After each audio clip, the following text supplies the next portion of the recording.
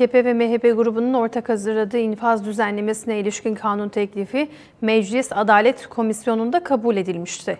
İyi Parti Grup Başkan Vekili Musavat Dervişoğlu, İyi Parti olarak teklife neden muhalefet şerhi koyduklarını bir daha açıkladı.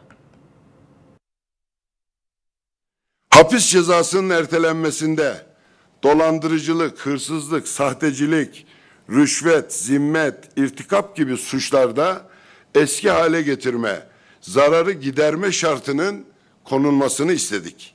Kasten yaralama suçu kadına karşı işlenmesi halinde ağırlaştırılsın dedik. Mağdur sadece eş sıfatıyla sınırlanmasın, açıkça kadın olarak tariflensin dedik. Cumhurbaşkanı aynı zamanda bir partinin genel başkanı olduğu için eleştiri ya da hakaretin hangi sıfata yönelik sayılacağına ilişkin ortaya çıkan garip duruma karşı da şehrimizi koyduk.